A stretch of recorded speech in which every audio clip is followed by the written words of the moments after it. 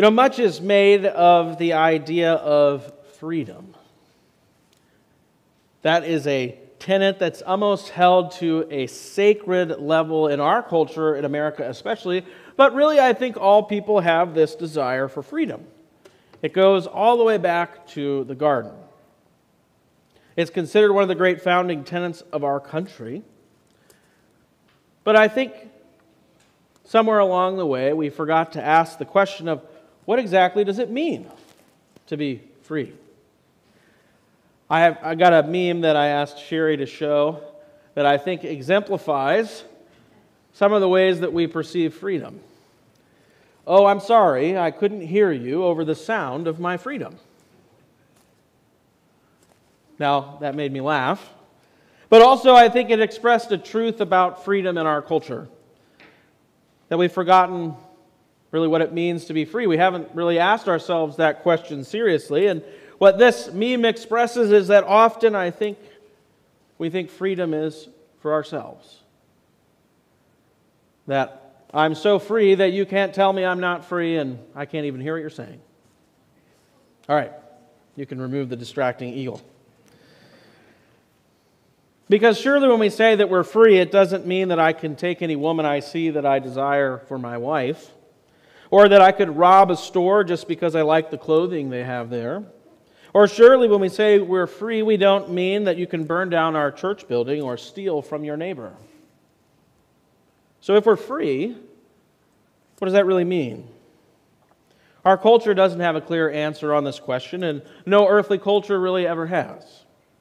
That's why the freedom of one person has, in our day and age, become the tyranny of another.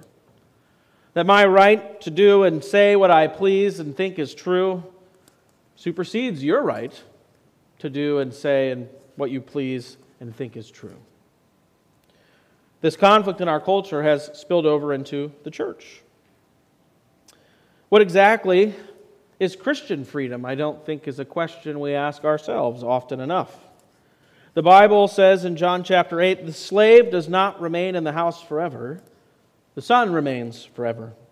So if the son sets you free, you will be free indeed.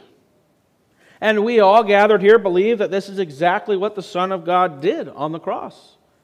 He set you free, He set me free. But usually, I think, if we're being honest, and I include myself in this, I hear that and I think hip hip hooray, and then I don't really think too much about what exactly it means that I've been set free by Jesus. What exactly have I been set free from, and what have I been set free for? Does that mean I can now do whatever I want, to whomever I want, whenever I want to do it?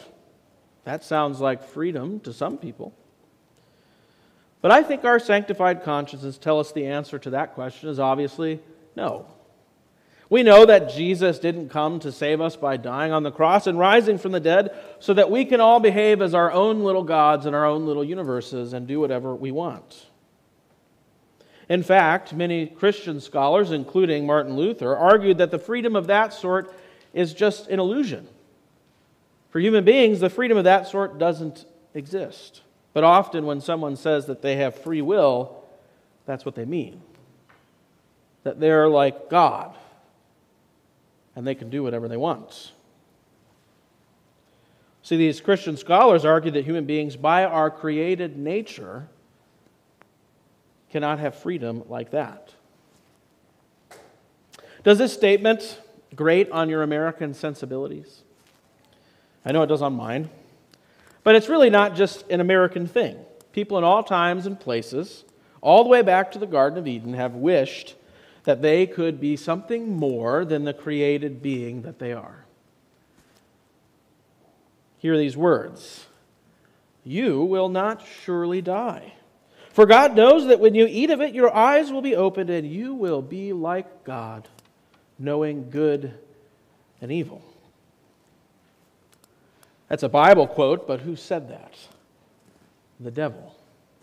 When he tempted Eve to disobey God for the first time, but certainly not the last, and what avenue of temptation did he use? You'll be like your own God. Free in a way that it turns out through a long history of suffering and pain, we are unequipped to be. Actually, the end result of that was the opposite of freedom. We became slaves. Slaves to sin, slaves to our own hearts and our own sinful flesh. The opposite of freedom. And the depth of our sin is such that even when it comes to our Christian freedom, it's woefully easy for the devil and our own flesh to enslave us again by making us think that real freedom is being our own little God in our own little universe. Quite a clever tactic, I would think. How easy would it be to keep someone enslaved if you convince them that the very thing that enslaves them is their freedom?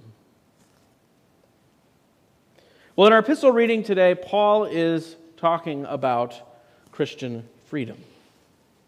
He's trying to help us make sense of what we do as Christians when we find out that because of what Christ has done, we have been set free.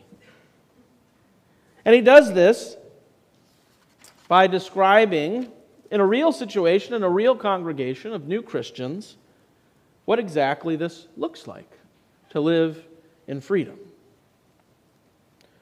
So, Paul begins our epistle today in verse 1 of 1 Corinthians 8 with this maxim that I think will be helpful in guiding us as we go through the text. This knowledge puffs up, but love builds up. You see, he's writing this because, and you can even see in the text that some of these things are in quotations, known sayings to the people he's writing to. All of us possess knowledge. This knowledge, right? Um, and later on, for we know that an idol has no real existence, and that there is no God but one. Things that clearly Paul is writing to people who are saying these very things. And he's writing to them because the knowledgeable and sophisticated members of the Christian church in Corinth took a broad view of their entitlement to eat meat sacrificed to idols. Now, why is that? Well, they had learned in their catechesis some new knowledge that there's only one God, that idols, in fact, aren't real, nor are the deities that are supposedly inhabiting them or behind them or represented in them, and therefore, they're not real. And that's why in verse 4, Paul writes to them, We know that an idol has no real existence, or that there is no God but one. He's not quoting those as a way of mocking their truth, but a true catechesis has occurred. Wouldn't you agree? There, there is no God but one. Idols aren't real. And the Bible expresses this truth, often, sometimes harshly in the Old Testament. In Isaiah, there's a stretch of verses where he sort of makes fun of the idea that man makes God out of the same wood and stone that he uses to make all kinds of other things. So, if the gods of idols weren't real, then sacrificial meat was really just meat. There was, however, two problems with what they did with this new knowledge. One was what Paul says in verse 7. They forgot that, however, not all possess this knowledge. Not everybody knows what you've been told and taught in church. A wise thing to remember, not just for this, but many other things. And the second problem was that the possession of superior religious knowledge does not guarantee that those who learn those things will apply that knowledge in the proper spirit of their new life in Christ. Knowledge puffs up, remember?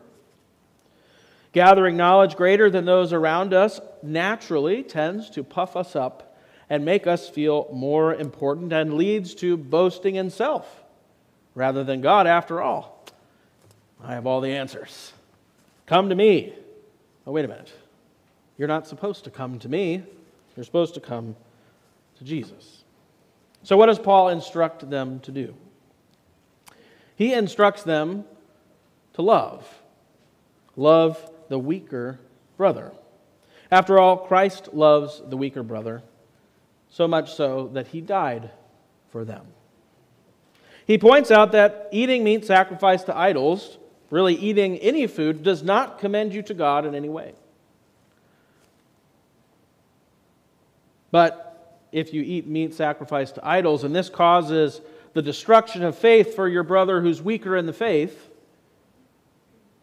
you have sinned against Christ and against your brother.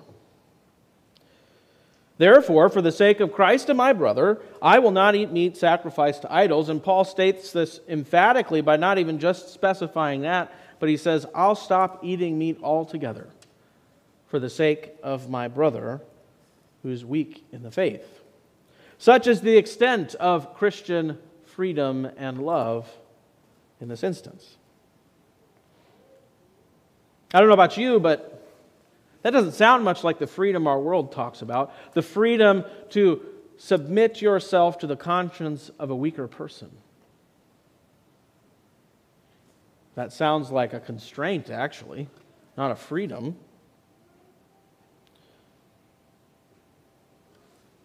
But here's where Paul moves us back to understanding where this comes from and the real source of Christian freedom. See, for Paul, the freedom that comes from the revelation of knowledge about God is to be used in love for serving the weak rather than one's own desires. So rather than saying, I'm sorry I can't hear you over the sound of my own freedom, freedom is actually meant to be in service to the building up of those who are weaker in faith. Now, maybe it's hard for us to think of this in terms of meat sacrificed to idols. After all, I don't know about you, but in the last 34 years, I've never eaten meat sacrificed to idols. But Paul's really addressing a contemporary issue of the congregation that he's writing to. So let's think of some of those things in our day and age. Now, you may have heard in Bible class me use the term adiaphora, which is a Greek word that's used to refer to things that are not expressly forbidden in the scriptures nor are they explicitly commanded. That frustrating gray area where the Bible doesn't tell you things like you shouldn't be on your iPhone more than two hours a day. Well, when we get into the realm of Christian freedom, often this is what it's discussing. Things that now that we live under grace, we have all kinds of options, but how are we supposed to behave and choose? What's the spirit and the attitude that we are to utilize this new freedom with? So here's a few contemporary examples the kinds of clothes you come to wear when you come to church. There's no biblical command given that this has to be a three piece suit, nor that it has to be casual. We have Christian freedom to choose, but keeping Paul's principle of love versus knowledge in mind, it should be chosen precisely for the reason so as not to offend or cause a stumbling block for the conscience of the weaker brother. And I should mention, we're saying brother here a lot. Brother in this instance means both brother and sister. So these rules apply to everybody. Or what about the style of music that's played in church or the instrument that it's played on? The Bible doesn't give express command or forbid rules on those things, but they should be utilized again, keeping the maxim of Paul in mind that precisely because they're of the nature that God hasn't explicitly commanded them, they should never come in between someone's faith. Or what about the time of church on Sunday? Oh man, I've heard so many stories of having to move a service 30 minutes up or 30 minutes back, and the whole place about destroys itself. That's adiaphora. Think about how some of those stories you've heard might have played out differently were the people in mind, or were the people keeping in mind the teaching of Paul here in 1 Corinthians 8. Rather than fighting about what they want, they should be tripping over themselves, advocating for what the other person needs. So, the knowledge of my freedom in Christ is not meant to be used for my own selfish desires, but rather for my weaker brother in the faith. Meaning, I cannot insist on my own freedom when it causes trouble for the conscience of another. Remember, knowledge puffs up, but love builds up.